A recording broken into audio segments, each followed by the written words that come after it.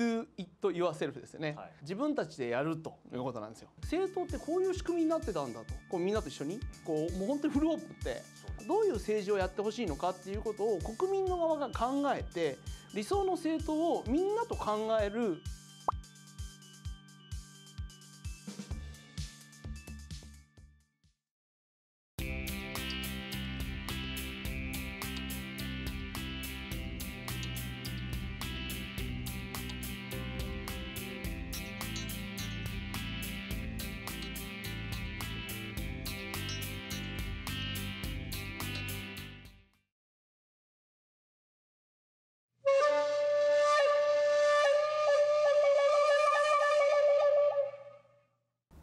CJS をご覧の皆様こんにちは。亀井総平です。本日も日本が好きになる歴史の授業をお送りしていきたいと思います。講師は斉藤先生です。よろしくお願いします。よろしくお願いします。しまあ、前回源平の戦いと義経ということでですね、はい。まあ僕は余談でモンゴルの話までしちゃいましたけども、はい。あのいや、あいうの調べてくる子供もいます。あ本当ですか？はいええそうですよ。はい。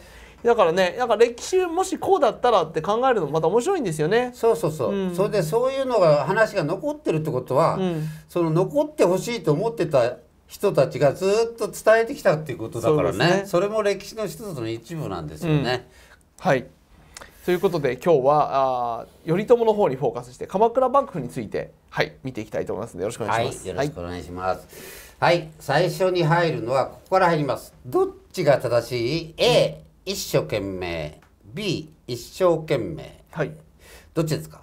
やこれどっちも正しいというか、そうなんですよね。意味が違うだけで。そうはいです、はい、その通りです。今はね、両方正しくって辞書に載るようになりました。はい私が子供の頃はね、はい多分、い A しか載ってなかったと思います。あそうですかはい、はい。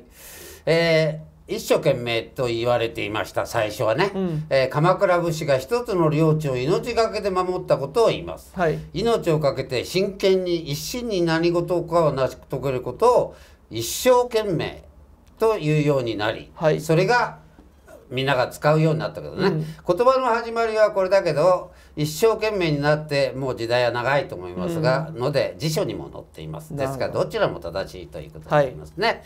はい、鎌倉時代の武士たちはこの一所自分の領地をしっかり守ってくれる。ね、えー支えてくれる。強いリーダーが欲しかった、はい。ということです。そこで頼朝は兵士を滅ぼした後武士のための武士の政府を作ろうと考えます、うん。皆さんが頼朝だったら次のどれを選びますか？A 朝廷かっこ天皇を武力で滅ぼして武士の政府を作る。うん。B 朝廷天皇に認めてもらって武士の手政府を作る。まあね僕日本人で歴史知ってますからまあ B を選ぶんですけど、はいでも海外だったら絶対みんな A ですよね。そうですうん。うん。いやもうあのなんていうかな今ネットでオンラインで授業してるんですけどね、はいロンドンの子とかね、は ロスの子なんかね、はいでもみんな A です。大変いい失礼を持っていただきましたが、はい子どもたちはまああ A と B この立場で話し合うのは出てきましたよね、うん。似たようなうんうん。のがね、はい。うん。えー藤原氏はあ天皇をどうしてただろうって話が出てきました。その前にも蘇我氏の話がありました。ね。そういうことで、えー子どもたちはあ日本ってて聖徳太子のあの天皇中心の国っていうのがやっぱりずっとあるんじゃないかっていうふうにこの時代この頃になると気がついてきます。はい。ね、でど日本はやっぱ B だよ先生。でさっきあのし先祖が天皇って言ってたよね源氏はっていう、うん。そういうことも出てきます。はい。ああいやよく覚えてたねだけど何人かはですねやっぱりてっぺん取りたい子もいまして、えーいや俺はやっぱりこれもう俺が一番強いんだろう日本で。したらやっぱり自分の政府を作りたいなっていう子もいます。うん。でまあ両方なるほどね。どんないいことがある？あこう B はどんないいことがある？あやっぱりあの天皇があの支えてくれるからあのあな力も強くなるし安定するんじゃないっていうね、だから、B、A はその自分が考えたようにできるってことが強みだよね、ういろいろある出てきます。そこで、まあ、まとめをして、はい、源頼朝は B を選びました。はい。えー後鳥羽天皇から征夷大将軍に任命していただき鎌倉幕府を開きました。武力を持たない朝廷を源氏の武士団の力で滅ぼすことはしませんでした。武力で勝利したリーダーがこういう選択をした国ははいここが重要です。世界中で日本だけです。うん。えーつまり日本だけがこの天皇陛下をずっと大事にしてきてるのね、うん。うん。この時代外国はみんなですね、うん。武力の喧嘩の強いやつがてっぺんになるんですよ。ね。だから国あ中国の国もどんどん変わっていくでしょ、はい。っていうことで、うん。ああそうなんだね。そこは違うのかって、うん、ことで A を選んだ子もですねやっぱり日本の伝統の意味っていうのをだんだん理解した上で、はい。A, A を選ぶようになってきたりね、うん。そういうふうに変わっていきます。はい。はい、で政治の天才源頼朝ってことであ幕幕府の仕組みとかねそういう天皇に征夷大将軍に任命していただいて、えーえー政治をはめ始めたこと。それから初めは関東だけ治めて、えーいたことなどを、はい。まあ、ある意味あの着実に一歩一歩いくね、あ源の考え方を、まあ、資料で抑えてですね、はい。まあ、こんな絵を出し出します。左側は平安時代の石棺政治です、うん。今頼朝が鎌倉幕府を開いてあ鎌倉幕府っていう言葉も当然教えますが、はい。あのしばらくの間は西の方は朝廷が治めていて、はい。東の方はあ頼朝の幕府が治めているっていう、しかし国は一つだよっていうことで、あのおこういう形の日本になってたのね、珍しい形だよね、はい。っていうことで教えます。なるほど。でも形は一緒だねっていうことです。うん。はい、そして、えーどうして鎌倉にしたのかとかね。京都から離れてるところを政治の中心にしたことの意味なんかを、まあ、子どもたちでに考えながら教えます。から源氏三代の、まあ、悲劇をさらっと流してですねこの仕組みはどうしてもテストとかね必ず出てくるので、うんえー万所とか門中所とか侍所とかね、えー武士が作った最初の政府の仕組みです。うんね、えー朝廷とこう離れて作った仕組みなんですね。うんでえーこの天皇が任命するっていう形は教科書にも資料紙にも出てきません。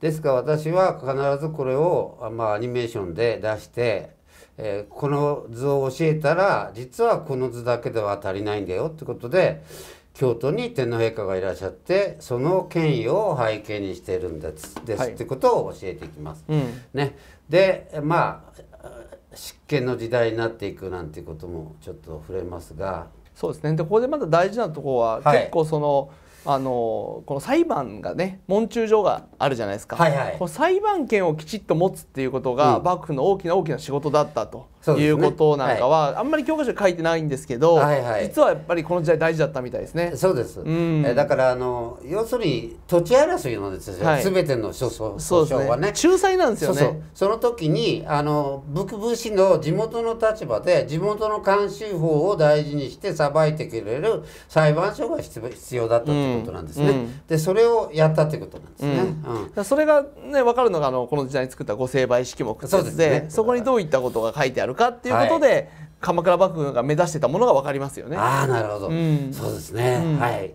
で、えーこのご幕府将軍と御家人ね家来たちの結びつきっていうのはすごく強くてこの一生懸命の一生を必ず認めていただけると、うん。そのご恩に応えるために必ずえー要するに天下分け目の戦いとかって言ったら必ず命を懸けて戦いますって、こうこうご恩の方向の関係で土地が土地を媒介にしてかな？土地を大事にして結びついてるのがこの封建制度っていうものでこれもアジアではですね日はい。本だけが、うん。こういうねご恩と奉公の関係で、えー政府ができたっていうのは日本だけなんですね。そうですね、ちょっと余談で言わせてもらえば、やっぱりその一生懸命っていう言葉が武士道の原点だっていうことを僕ら最近一生懸命習っていて、結局一生懸命って何守るって領地なんだけど、じゃあ領地に何があるのって言ったら家族とか親族ですよね。あもちろんそうです。だから一族を守るためにこうあ戦う、うん。うんこれが武士道だと、はいはい。ってことは守るってことはそこに愛がありますよね、はい。うん、だから武士道イコール攻めてこうじゃなくて、うん。自分たちのエエリアを国をき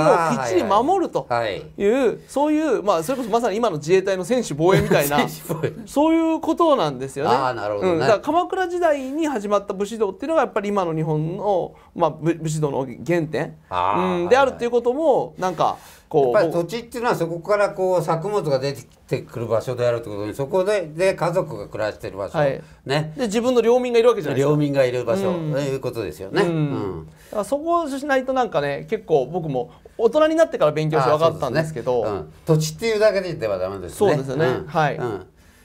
今日勉強になるな。いやすいません。僕は余談で。いや、はい。ありがとうございます。いや本当にそういう機会ばっかりなんです。で後鳥羽上皇の上級の変の話をします。で1221年にですねもうし北条氏の時代になってからですね上級の変というのが起こります。でこの上級の変は朝廷がですね武士を集めて鎌倉幕府に戦いを仕掛け仕掛けたわけですから、まあ普通さっき言った世界の常識では幕府が朝廷を武力で滅ぼす名分が立つ戦争だったのある意味ね、だけど北条氏はそれをやらなかった。やらなかったどころか、後鳥羽院がもし戦闘に来たら、馬を降りなさいと、言ってたわけね。そうそうそうそう。そ うしかし幕府は当事者を島流しにしただけでした、うん。ということで、はい。まあ島流しにするだけでも、まあ、大変なことだけども、うん。まあそういうことで滅ぼさずに済んだとはいいうことですね。でこの形がさっきは西と東で2つに分かれていたのがこの上級の変の後に鎌倉幕府を中心に日本がまとまる。でそれを権威づけている天皇はえー京都にいらっしゃるという形になりました、うん。えー上級の変更鎌倉幕府が天皇の下で日本を治める一つの政府になった。この時から朝廷は完全に政治権力から退き祈りと文化に専念するようになったと考えられます。はい。ということで北条氏の執権政治の説明をね、うん。ちょっとして授業を終わります。はい。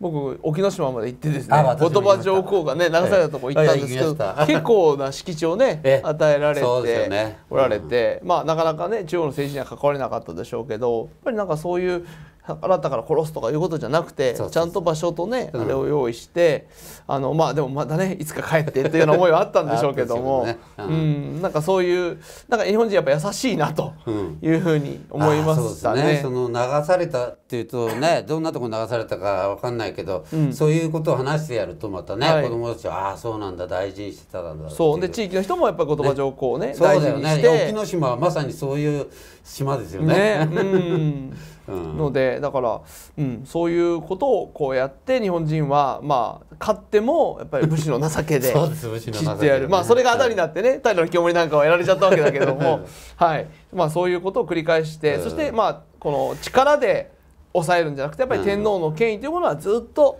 ね守りながら国を維持してきたということもこの最後の図で分かりますよね。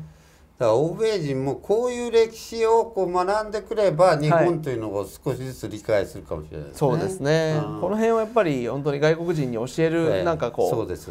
きっかけが必要です世ね。界で唯一この島国だけが、やってきたうんことですよね。そうですね。で子供もそういうことで教えるとああそうか日本ってすごいなーっていう感じになります。ええこれが当たり前じゃないんだよええということをね、そう。です。分かってもらえたら。えいいんじゃないかなというふうたに思います。だこれが教えられてない現状がありますので、まあ、頑張らなくちゃいけないなと思うんですけど、やっぱりね斉藤先生みたいな先生が必要だということですよ。はい、はい、ありがとうございます。はい、今日はどうもありがとうございました。ありがとうございました